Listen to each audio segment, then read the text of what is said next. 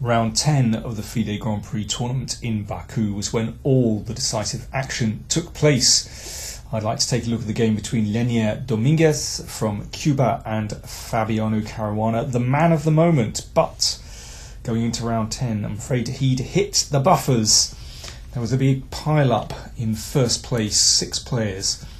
So could Caruana somehow regain the initiative? Let's take a look. He has the black pieces here, and it's a symmetrical English.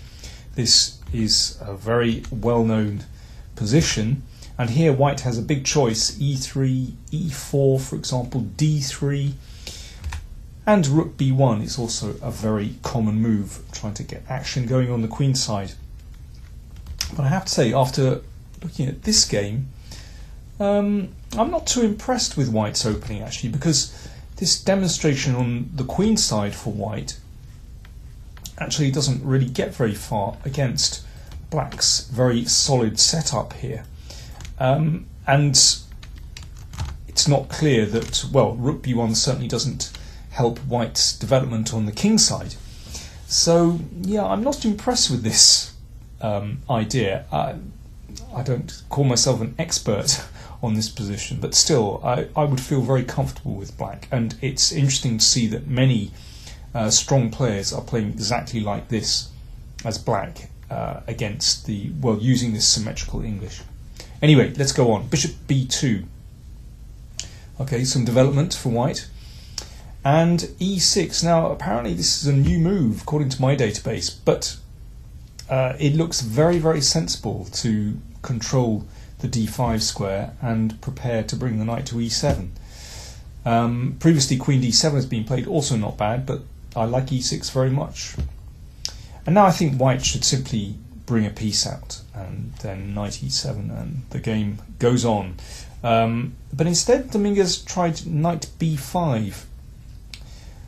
Caruana exchanged, but again, this doesn't really help you know, White's development on the king's side, while Caruana is actually just developing very soundly, and you know this little demonstration here really doesn't get very far at all.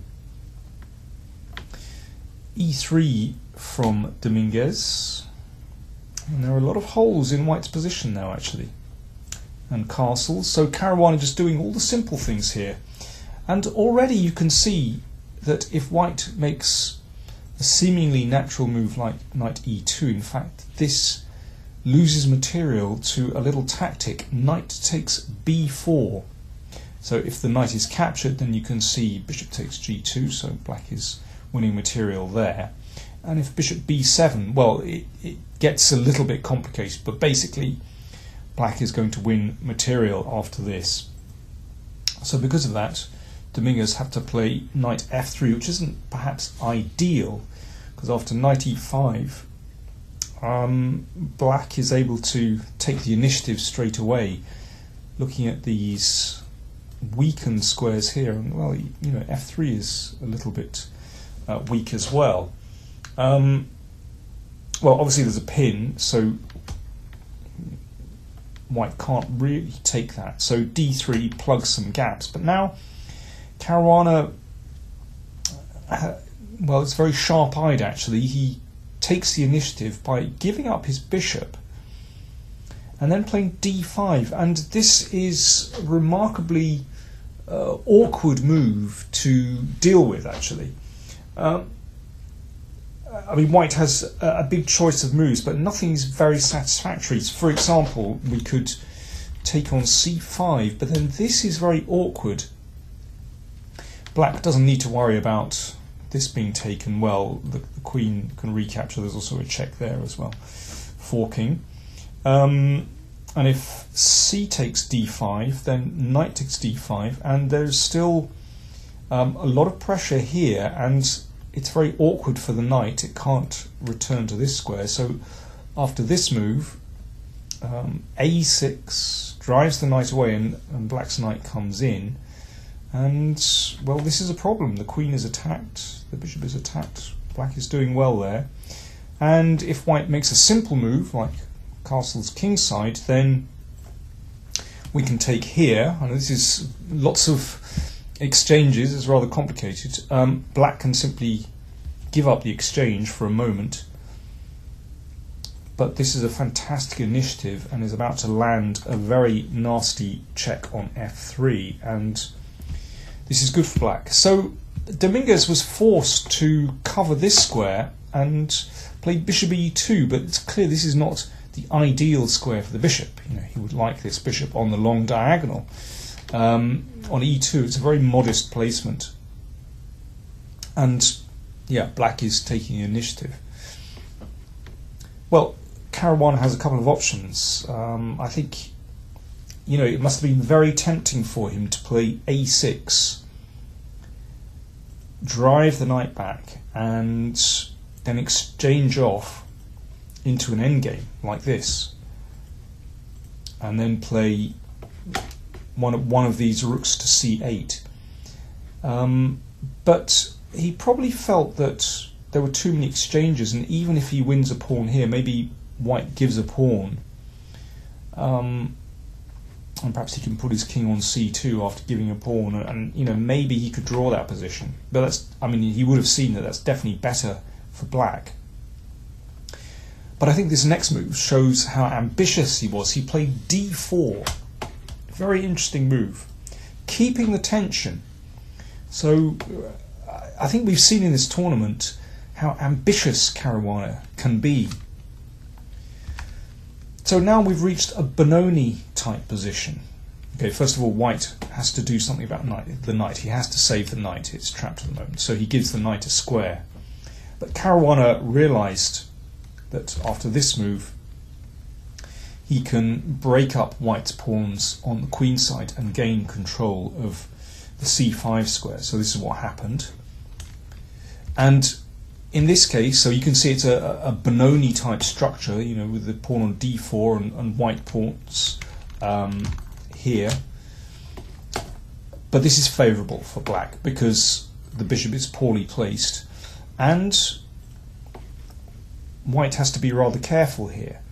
Um, black has a very clear plan. So this is a very nice maneuver. So this is what I mean by gaining control over the c5 square the knight is redeploying to c5 and from there it looks at these two weak pawns and black has a clear plan of playing rook a6 and rook over to gang up on this pawn here. So nice play from Caruana. Certainly he has the initiative and white has to be careful. Queen a1 threatens the pawn here. e5 protects that pawn. And now if white continues making normal moves, so let's play rook b5, well let's see this plan in action. So if white waits, then you know this pawn is going to be gone. So what happens if white exchanges? Well we can see that black still has a clear positional plus. Queen is attacked, the queen comes back, and now the rook switches over and you can see how potentially weak this pawn on d3 is.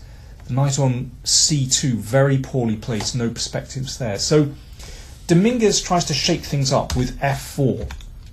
But this, of course, is a risky move because it's exposing his own king. I think objectively it's probably okay, but very double edged. The point is, well, it's rather similar to the last variation we saw, but in exchanging rooks, White hopes to be able to simplify the position and maybe you know this weakness of d3 isn't so bad. And maybe he should play a5 here and allow this exchange.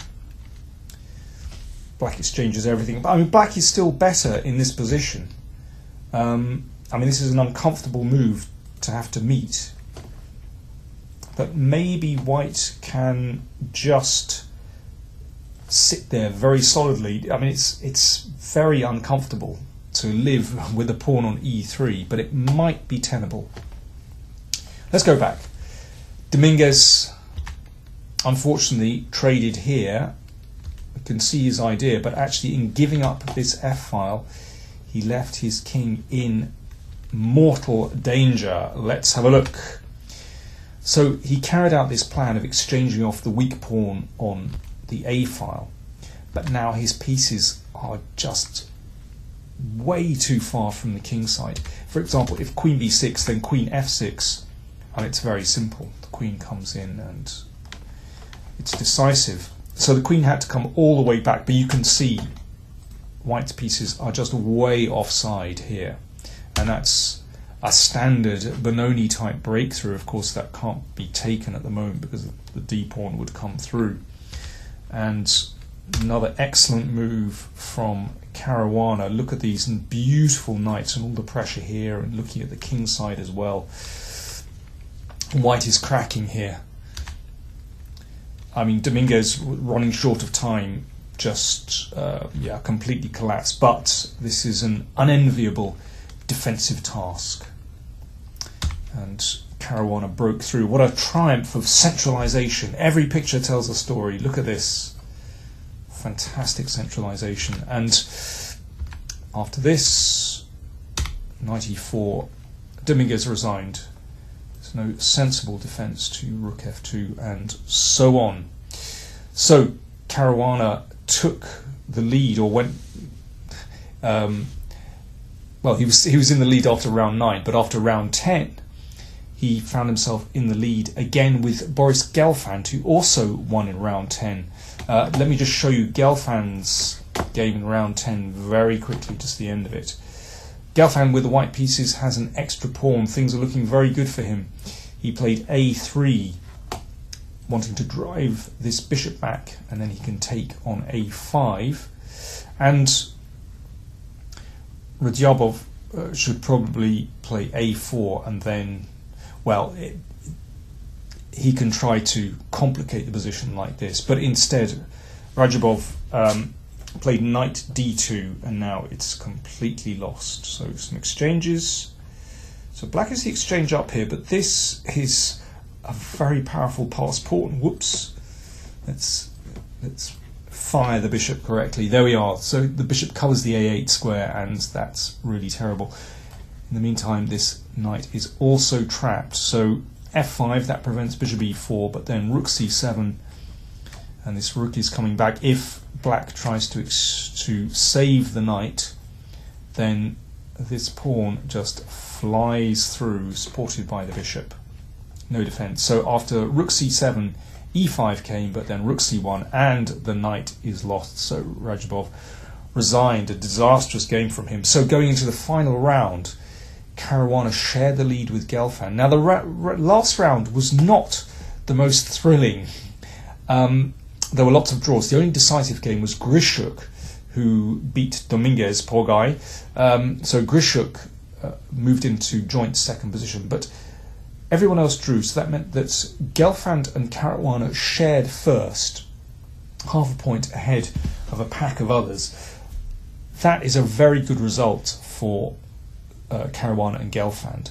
So they get loads of Grand Prix points. Remember, there are four Grand Prix tournaments, and the two top players at the end of those tournaments will qualify for the candidates next uh, candidates tournament, um, and that's, definitely a prize worth having. So. A solid final round from, from Caruana and Gelfand, but I can't blame them at all and they're looking good in, in this series. The next um, FIDE Grand Prix tournament takes place in just five days' time in Tashkent, and the top four players here, Caruana, Gelfand, Karyakin, and Nakamura, will all play there. Look out for that one, I'll be reporting from there too.